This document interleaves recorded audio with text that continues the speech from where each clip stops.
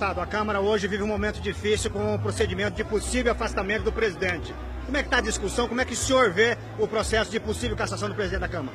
Cara, eu vejo com dois olhos.